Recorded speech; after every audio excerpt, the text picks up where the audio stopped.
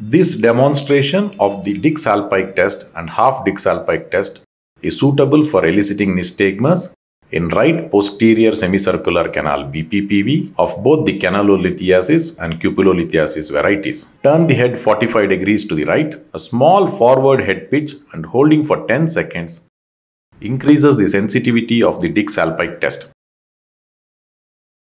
Take the patient to the supine position and then lower the head further down from the edge of the couch to achieve a 45 degree head extension.